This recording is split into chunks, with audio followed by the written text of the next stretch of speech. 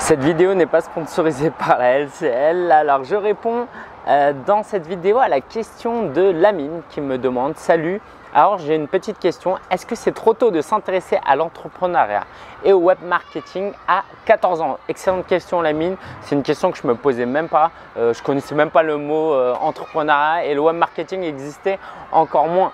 donc tout d'abord bravo parce que ça veut dire que tu réfléchis à une autre activité que tu pourrais faire durant ton temps libre. Et j'aimerais vraiment te répondre euh, en te proposant plusieurs euh, questions. Euh, et en répondant à ces questions, je pense que tu trouveras la réponse. Tout d'abord, c'est de te demander ce qu'est l'entrepreneuriat.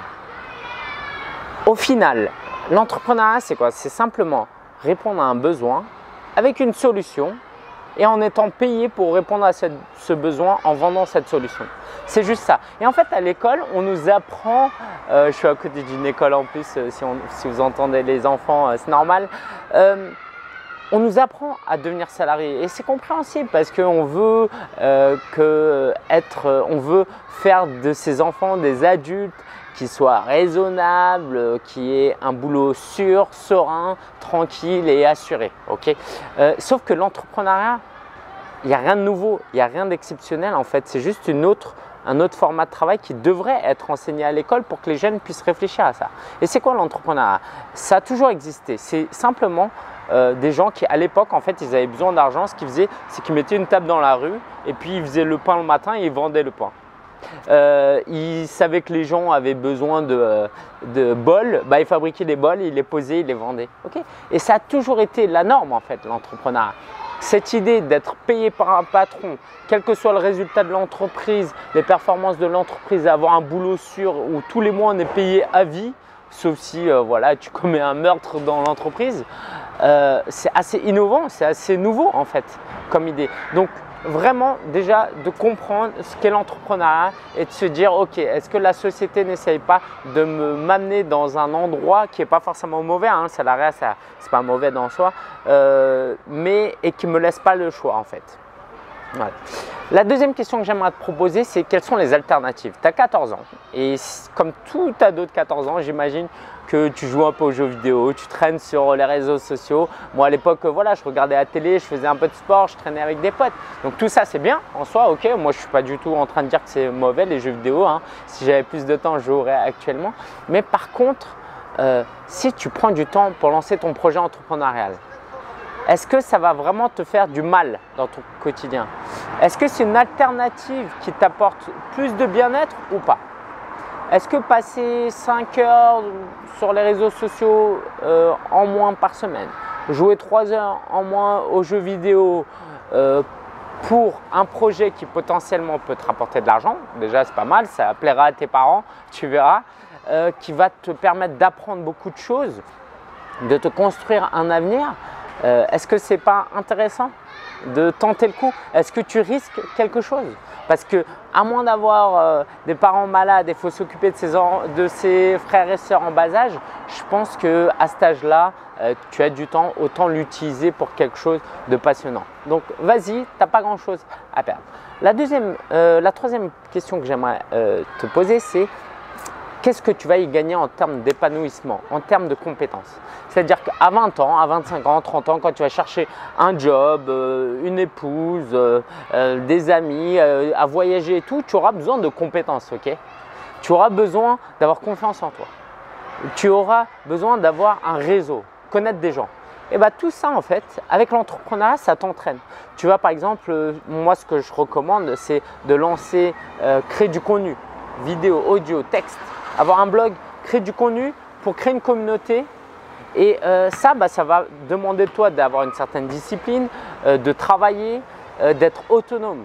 C'est que des qualités qui seront valorisées plus tard, quel que soit ton job, quels que soient les aspects de ta vie. Donc, vas-y, parce que tu vas t'épanouir, tu vas gagner confiance en toi, tu vas avoir l'impression de participer à quelque chose, aider des gens. Donc, prends juste pas la grosse tête, mais tu vas pouvoir apporter du bien-être à cette société.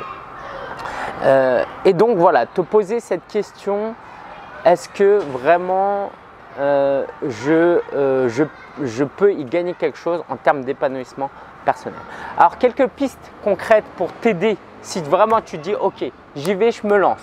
La première chose, c'est ce que je, te disais un petit peu, de créer du contenu, créer une communauté autour d'une thématique et puis quand la communauté sera plus grande, de vendre un produit. Et pour ça, euh, je recommande de faire un blog, une chaîne YouTube, un podcast. Et le meilleur moyen pour t'aider là-dedans, j'ai créé en fait une formation de 7 jours gratuite qui est disponible. Il suffit que tu la télécharges sur solopreneur.fr slash maintenant, c'est dans la description. Clique 7 jours pour t'aider à réfléchir, à poser tes idées et à lancer quelque chose. Ok? En seulement 7 jours, t'attends surtout pas à être milliardaire euh, au bout de 7 jours. C'est pas ça que je promets, mais au moins tu as de quoi réfléchir pour te lancer dans 7 jours. Et la deuxième solution que je te propose, euh, c'est pour te former à l'entrepreneuriat, tu n'es pas obligé d'être entrepreneur. Je m'explique. En fait, moi, à 13 ans et demi, déjà, je commençais à travailler dans, la restauration. Après, dans le restaurant de mon frère, ma mère était babysitter. Et en fait, je posais des questions, tu vois, babysitter à son compte. Hein.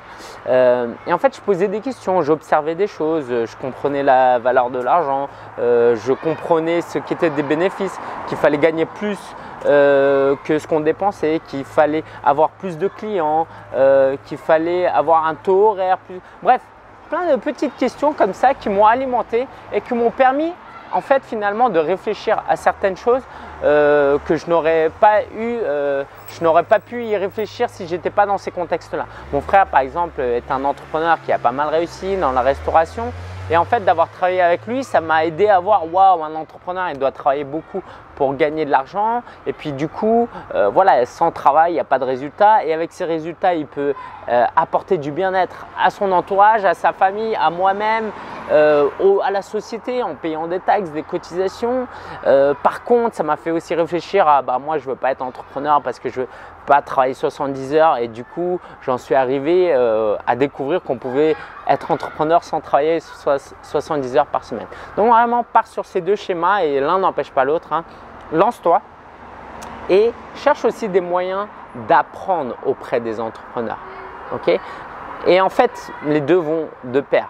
Mais si tu peux déjà côtoyer des entrepreneurs, je sais pas, aller faire des brocantes avec tes parents, tu as un oncle qui a un restaurant, bah euh, la plonge dans son restaurant, bref, côtoyer des entrepreneurs, ça, ça va vraiment t'aider. Donc continue, vas-y, cherche à te former et à agir dans l'entrepreneuriat, le web marketing, ça va venir par la suite et ça peut être aussi un point d'entrée, ça t'intéresse d'attirer des clients, mais bon voilà, c'est bien de lier les deux et ta question est très bonne. Web entrepreneuriat et web marketing parce que sans marketing, il n'y a pas de business. Voilà, j'espère que cette réponse t'a plu. Si vous n'êtes pas euh, la mine et que vous pensez que cette vidéo peut servir à d'autres adolescents qui se posent la question, partagez-la sur votre mur, sur Facebook, sur Twitter, partout, par email, euh, pour que d'autres jeunes puissent réfléchir à cette question euh, sur des bases qui ne sont pas forcément expliquées à l'école.